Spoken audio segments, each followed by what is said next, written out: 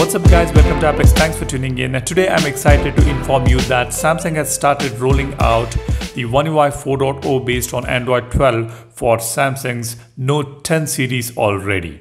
This is the Note 10 Plus Exynos variant I have here and I have already got the update and I'm sure Note 10 regular will also start getting this update this month itself. If you haven't got the notification yet, just go to the settings, go to software section, tap on download and install. If the update is available in your region, it will show up here. If it is not yet available, just patiently wait for it. The schedule will vary. We do not get the exact date or time of this release, so just wait for it.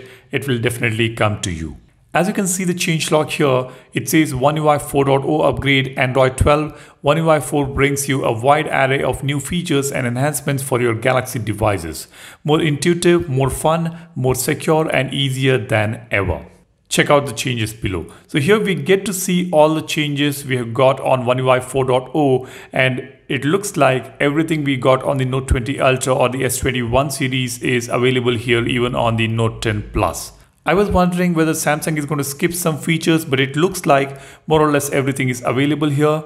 As you can see we have got color palette, privacy features, Samsung keyboard enhancements, home screen features such as new widget design, easier widget selection, lock screen features.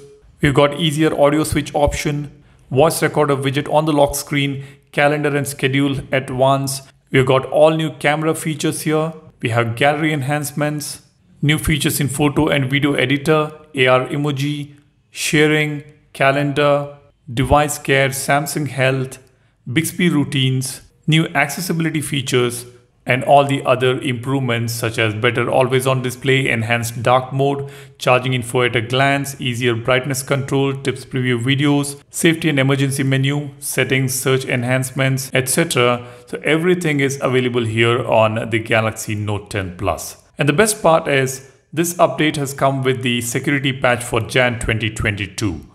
Whereas on the Note 20 Ultra, if you remember, even though we got this major upgrade in the month of January on that device, the security patch level remained for December 2022. So we are yet to get the security patch for Note 20 series for January 2022. That is strange, but anyways, we will be getting that update in another few days.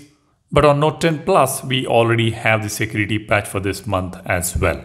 Now kudos to Samsung for releasing this update as per schedule. They are right on top of it when it comes to pushing these major upgrades.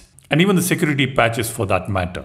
This is why we love Samsung, isn't it? And if you love Samsung, make sure you subscribe to the channel to watch some cool contents on Samsung Galaxy phones, Android applications, One UI, etc. And do smash that like button if you find this video useful. Alright, now what I'm going to do is I'm going to download the update and install it and check all the features on Note 10 Plus. I'll test it out for a couple of days and let you know the performance of this device on Android 12. And I'll also post a battery test results for Samsung Galaxy Note 10 Plus running on Android 12 very soon. So stay tuned for that and be sure to subscribe if you want to watch that video. That's all I want to share with you guys. Thanks a lot for watching. You guys take care and stay safe. I will see you in the next one. Cheers. Bye bye.